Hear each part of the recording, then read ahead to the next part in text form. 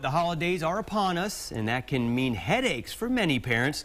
But fear not, we're here to help. Jessica Shields Flowers of Ripple Effect is here today with some easy tips to keep the holiday meltdowns at bay. And you know what? As a father of a three and a half year old, please, mm -hmm. I need help with this. This is something that is really of concern to me. Mm -hmm. How can we keep the kids in line during the holidays? They may be out of school, they may have more time on their hands, and they're in the house with us or going shopping with us. What can we do? That's right. And all the routines and the structure have gone out the window. I remember this as a, as a young mom and my boys were home and it was like, yay, we get to stay home in our jammies or whatever. Right. But what I've learned is that children thrive still on a routine, even if you're out of school. So, and they think in pictures. I mean, right now I've got a lot of inner speech going on in my head and you probably do too, but it's like a silent movie in their head. Isn't that okay. interesting? So they do better if we do a routine in pictures. It's like, what's today going to look like? So now I've got some predictability. I know what's next. Now I'm feeling safe. And now I'm more likely to cooperate when you say it's time to leave grandma's house and they're having a really good time or whatever. It, now okay. they know how to leave. And, and, and how to do that. Yeah, mm -hmm. Let's talk about that a little bit more because I know my child, um, you know, anytime, yeah, she's around people that maybe she hasn't seen in a while, mm -hmm. you know, she really wants to hang out. And in that separation anxiety, uh. they really do throw a fit mm -hmm. at that mm-hmm. point because they don't want to leave. It's kind mm -hmm. of a mm-hmm. meltdown, I guess. Uh -huh. I mean, when you say pictures, uh, what do you mean? That we can get out of that situation without having a meltdown? This is what it's going to look like. I don't know what your child's name is, but Tegan. Tegan, uh -huh. say, this is what it's going to look like when we go to grandma's house or when we go to our cousin's house or okay. whatever. And this is how we're going to say goodbye.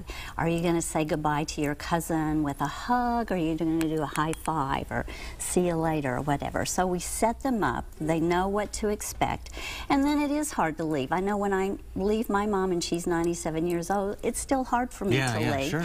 And so that empathy piece of it, it's like it is hard to leave. But and, and we're going to go in with that voice of knowing it's time to leave. Okay, kind of setting them up then for mm -hmm. how it's going to go. So uh -huh. that's the uh-huh. routine part. That's right. And then you're also talking about, I guess, tradition and, and, and having things that you do kind of the same thing every year or every increment of time?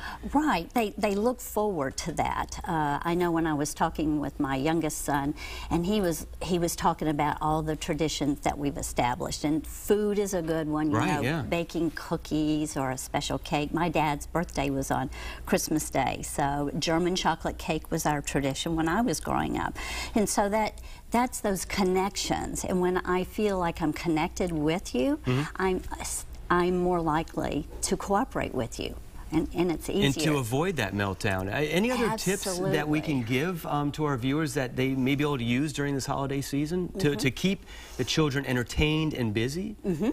Well, it is, it's enjoying it yourself. I think when you model that you're enjoying the, the Christmas season mm -hmm. and, and it all comes from you. So if you're anxious, they're going to be anxious. But if you're enjoying the moment, and what better way to enjoy Christmas with a three-year-old or a four-year-old or a five-year-old because you can see it through their eyes. So just enjoy the moment and be present with them rather than worry. And when should we start these things? I mean, what, what's the proper age to start these traditions and this routine?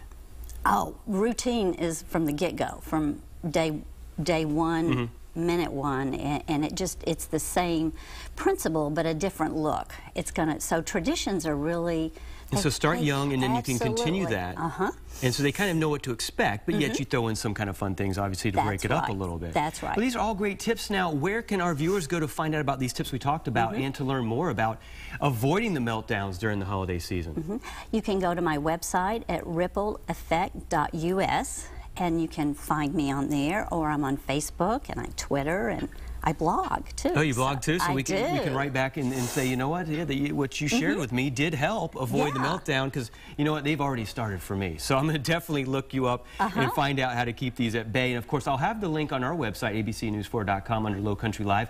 You can go to our website and then go to your website and mm -hmm. learn mm-hmm. how to avoid these meltdowns. I love working with parents. They're we need help. Me. So thank You're you for being there for us. Thank you so much. All right. Thank you for sharing this with us today. I appreciate it. All right.